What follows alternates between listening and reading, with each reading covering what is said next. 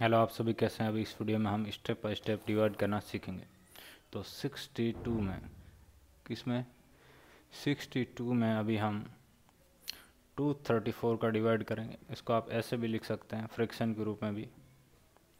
देखिए 234 का डिवाइड हम कब कर पाएँगे? जब दी गई संख्या इससे बड़ी हो। क्या ये इससे बड़ी है? आप कहेंगे, नहीं है सर। तो फिर क्या करेंगे? एक छोटा सा काम करेंगे। पॉइंट लेंगे या ज़ीरो लिख देंगे।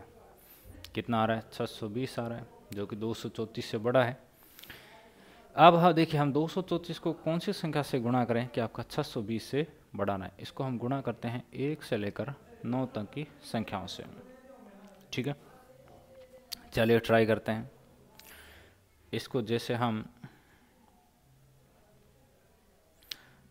दो सौ चौंतीस को गुणा किए, दो से, कितना आ गया? आठ छः चार। फिर हमने माइनस करना होता है। तो यहाँ पर हमने माइनस कर दिया। कितना आ गया? दो, पाँच और एक आ गया। पॉइंट लगा रखा है तो ज़ीरो लिख देंगे। ठीक है? कितना बन पंद्रह सौ बीस। अब इसको कौन सी संख्या से गुणा करें कि आपका इससे बढ़ाना है लेकिन ट्राई करते हैं। इसको सात से गुणा करते हैं। कितना आ रहा है? इससे बड़ा आ रहा है तो फिर छः से गुणा कर दिया। चार संग चौबीस, दो क्रिया आ गया।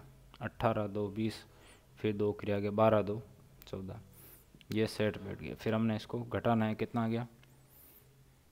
सिक्स वन और यहाँ भी आपका वन आ रहा है। पॉइंट लगा रखा है तो ज़ीरो लिख देंगे। फिर इसको जैसे हम यदि पाँच से गुणा करते हैं तो आपका इससे बड़ा आ रहा है, लेकिन चार से गुणा किया। चार सौ सोलह, एक गिरे चला गया।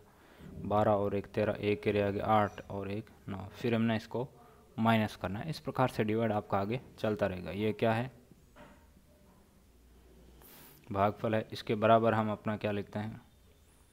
भागफल लिखते हैं। तो इस प्रकार से ये हमने डिवाइड किया। वीडियो कैसा लगा नीचे कमेंट कर बताएँ।